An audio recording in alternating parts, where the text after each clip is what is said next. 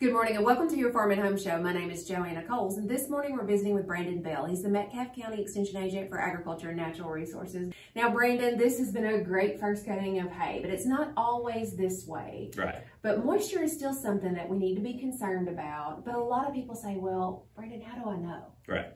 Well, we uh, we need to find some way to measure moisture and to monitor temperature. And we, we want to keep those large packages, large bales, 15 18% moisture. That's where we want them that hay to go into the to the bale at. Small squares, 20 to 25% moisture. And so how do we know that? There are several ways you can do it. You can get as technical as doing a microwave test and drying all the moisture out and collecting some different weights and seeing what percent of that total was was water. Or you can use um, some temperature and moisture measuring devices. Um, we keep these at the extension office. We've got two different types. Um, this is a windrow moisture meter. It does not do temperature. And then this one is to use after it is, is baled up. Um, the thing is you, you've got to be careful um, putting too much trust in these tools because Dr. Jimmy Henning has done quite a bit of work testing the accuracy of these tools. And uh, we did some uh, on baleage at the beginning of the year. And we compared this windrow moisture meter to a microwave test. And then he took some back to the lab. And the microwave test versus this, there was uh, four or five points difference. This read about four to five percent lower than it read on the microwave test. It read drier. Uh, when he actually got it back to the lab, this was 10% off.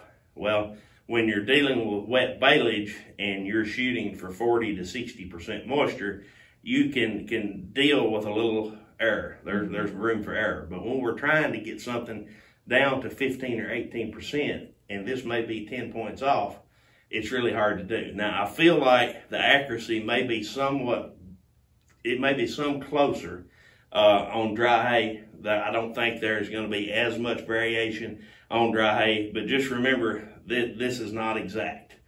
Um, so use use instruments like this with caution.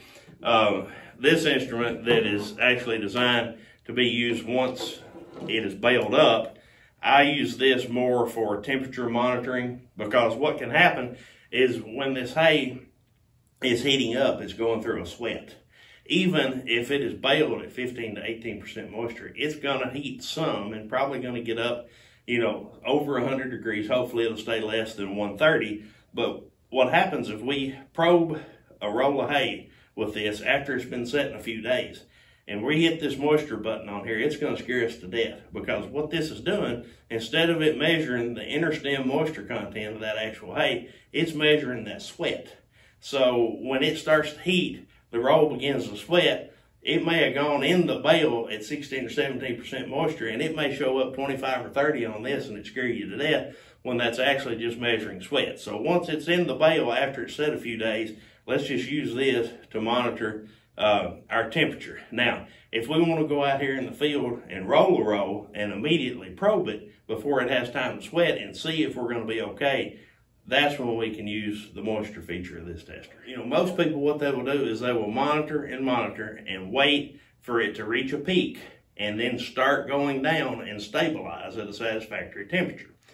It is possible though, however, for it to go through a second heat and get hotter the second time than, uh, than it did the first time. So multiple heating cycles are possible. You can't leave it sitting out forever. And I, have seen people try to leave it set out long enough to where it will stabilize and, and then it just keeps raining and raining and I've seen fungus and mushrooms and everything else growing on the top of it. Once you get to that point, do you even really need to put it in the barn? It's an art. People um, just just need to, to learn how to monitor, what to look for, get it in the bale at the right moisture content, and just keep a close, close eye on it and, and just don't take any chances. It's a definite puzzle. You have to weigh all your risk, look at the weather, monitor your temperature, but all the information that you can get to make that decision Information If you have questions, make sure to contact your local extension office. Thanks for watching and have a great day.